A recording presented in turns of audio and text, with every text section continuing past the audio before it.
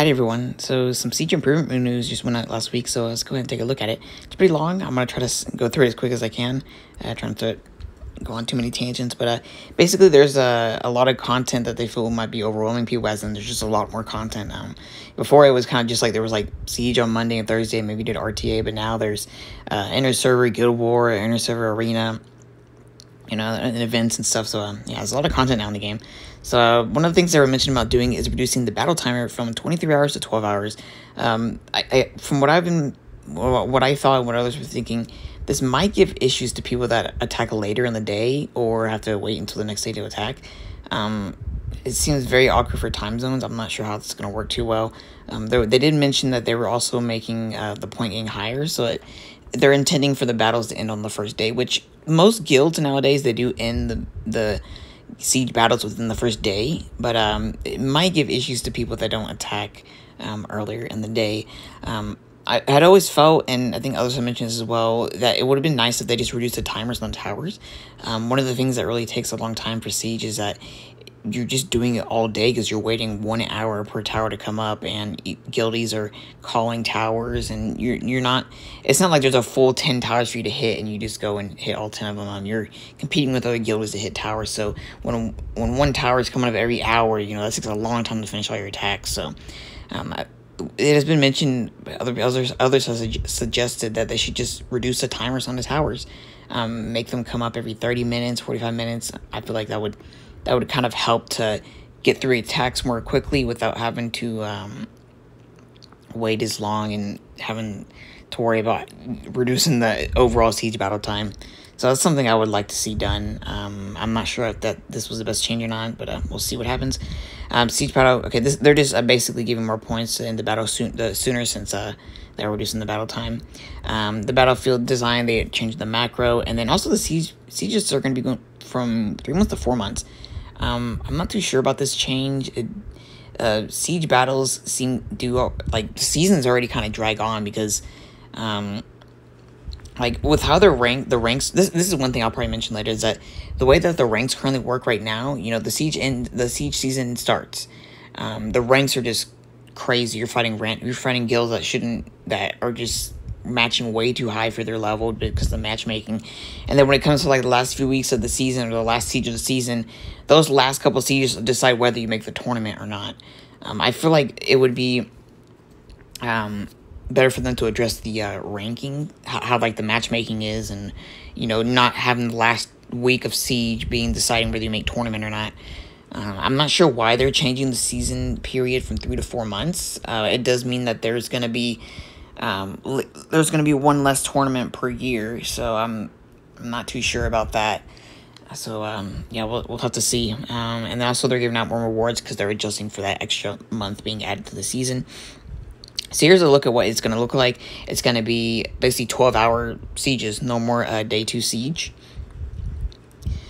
Okay, and then let's scroll down here.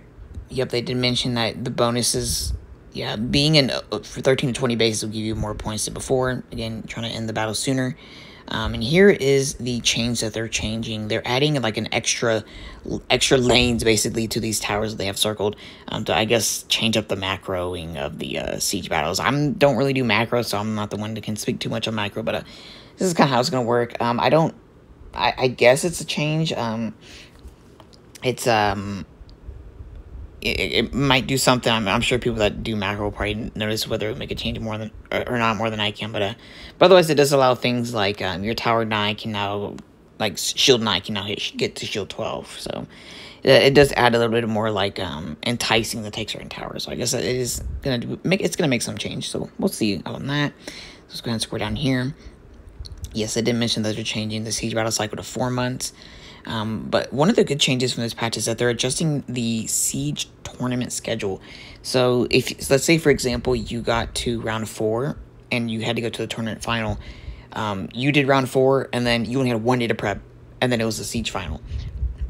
And it's it just creates a lot of burnout because you're just constantly like changing runes, adjusting everything all within a couple within like two weeks. You know, especially if you don't get a buy in the first round. So, um, I think this was a really good change that they stretched out those couple those the round four and the final to give more time for prep and uh, reduce the burnout that siege tournament can give. And then after that, the the tournament ends. There's one week break, which is pretty nice. And that means that you get time to rest and not having to, you know, it, it's always good to have a nice break. So it's a uh, it's enticing. That does mean that if you are someone that likes to do every single siege for the resources, you are going to get less rewards. But um, in general, they they are making up a little bit for it. Um, we'll see down here. Um, they're gonna get you're gonna get more rewards basically for the end of the season. It, it's making up for you know you're missing a week um, because of the break, and then also there's another month being added. So there are adjustments for that. So yeah, 5,000 crystals if you get the winning guild, or 4,500 for round four. Um, I think one of the best changes for this though is that tournament advanced guilds get at least one skin. Before, if you made it into each tournament, but you didn't win the your first match, you didn't get a skin, which was didn't really make sense. Uh, it always been like if you know if you made tournament, you should get something for it because you made the tournament. So I feel like this was a good chance that at least uh, getting into the tournament itself gives you uh, at least one skin. And then scrolling down here, yeah, they're giving more guild points, so adjust for the um, adjust for things, more guild points. Yep, just more guild points. And then another little thing, uh, guild leaders and vice leaders get bonus rewards at the end of the season, which is you know, like it, it does make sense because guilders and vice guilders they do do a lot of work for guilds, having to manage people. You know, checking things like anyone need bench, starting like um, monster subjugation, things like that. So it's always pretty nice to uh, you know show that the people that put in extra work do get bonuses for it.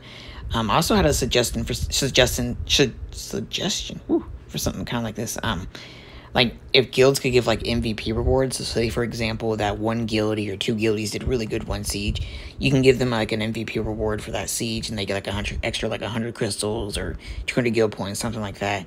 And I think that's something that can like you know little things to incentivize to doing well in siege. Although it's not game breaking, it's like cool extra hundred crystals, cool uh, extra guild points. So that's something that could also be kind of cool. Um, and um, in addition to this change.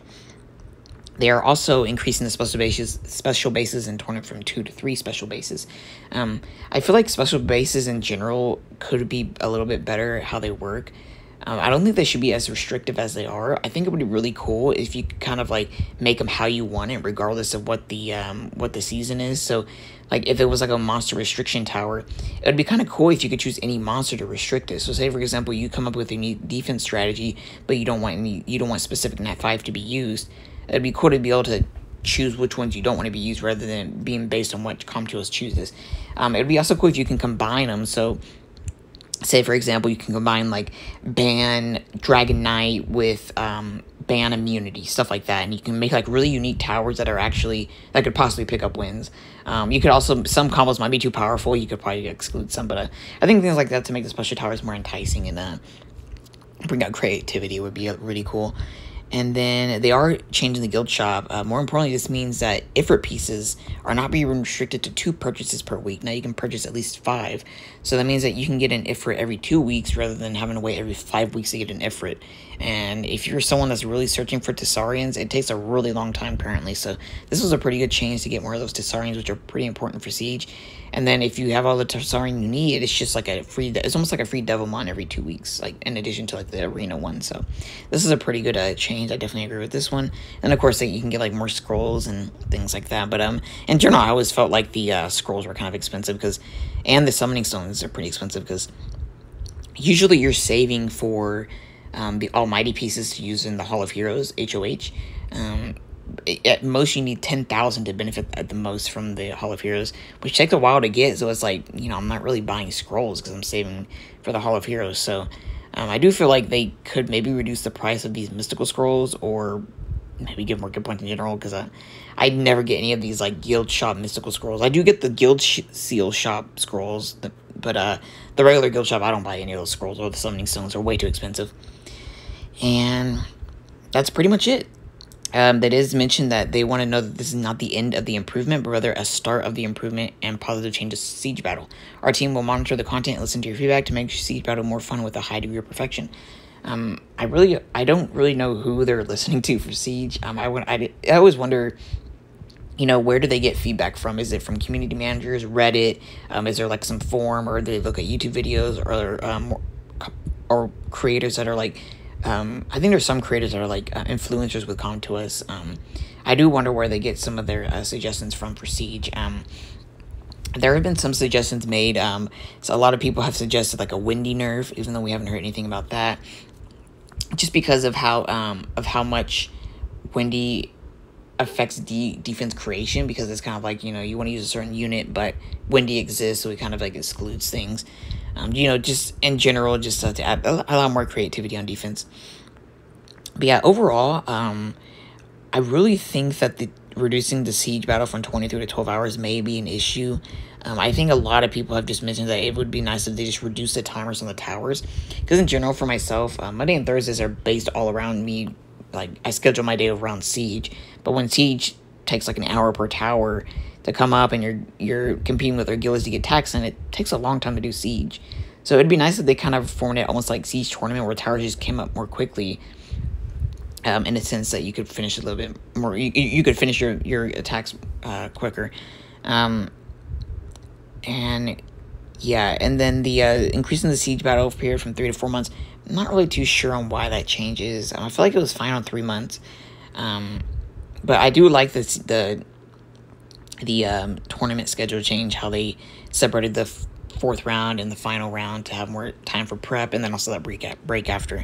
So yeah, overall, I really, I really, um, I would like to know. Um, more, I, I would like them to communicate more. I really like when they do communicate about what changes they're to make. So uh, yeah, I hope we, we hear more things about the uh, siege changes. Um, I think siege is one of the more. It doesn't really. It's one of those content where even if you're free to play, you can still compete with the top level in in terms of actually beat their defenses and compete because a lot of the the, the offenses are free to play. Whereas in RTA, you're competing with people that just have boxes that you can't compete with, and you don't have certain monsters you can't really do RTA that well. So I think Siege is one of the more one of the more important pieces of content for people that aren't like super heavy spenders. So uh, I really do hope that they expand on it, and um, hopefully they listen to changes, and we can get uh, get some things done to uh, make Siege even better. All right, yeah. If you have any uh, suggestions about Siege, maybe maybe they'll be listening and we can get some uh, changes in. So yeah, if we discuss some comments, I'll be uh, I'll reply to your comments as well. And uh, yeah, thanks for watching.